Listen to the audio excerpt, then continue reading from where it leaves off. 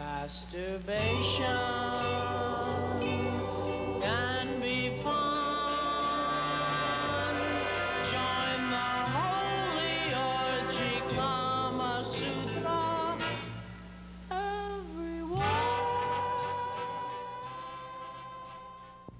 Hi, your old friend Matt White back with another adult movie review for friends and lovers. Guess what? Another play on titles, this time, Who's Dat Girl? But I can highly recommend this film. There's all kinds of action from beginning to end.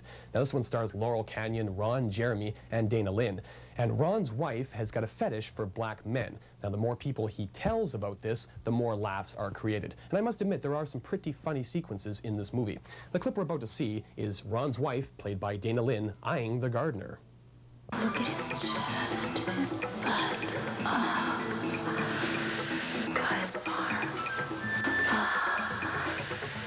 oh, my pussy's just aching for him.